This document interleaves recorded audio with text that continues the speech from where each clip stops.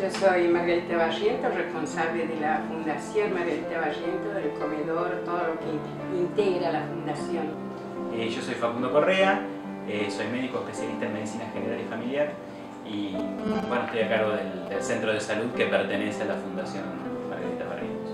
Eh, el trabajo acá es poder ver qué le falta a la gente, cuáles son los problemas, cuáles son las necesidades, cuáles son las demandas de la gente y tratar de organizar una, una respuesta a esas demandas y esas necesidades. Y bueno, con los años fuimos creciendo y es todo lo que están viendo ahora. Y bueno, acá en esto hace 6-7 años tiene un rol fundamental porque nada sirve hacer un diagnóstico maravilloso si después le toca hacer una receta y no sé si el paciente va a cumplir el tratamiento. Y abastece a toda la gente del barrio y de los que no viven en el barrio también. Acá la gente que viene y que se atiende, el 97% que requiere un tratamiento farmacológico lo tiene completo en nuestra farmacia. El Banco de Medicamentos de Sedacá en eso es responsable del 60-70%.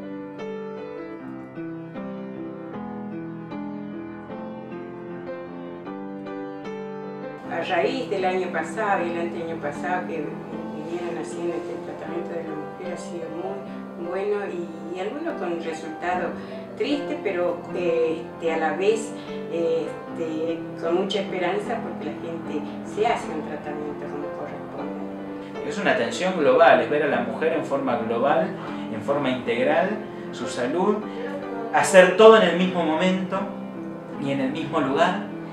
Y no solamente eso, sino que lo más maravilloso que tiene esto es que además da respuesta a las consecuencias que pueda tener esto.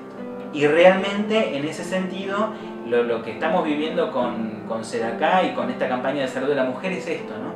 Es este, eh, hacemos, detectamos y seguimos y resolvemos el problema.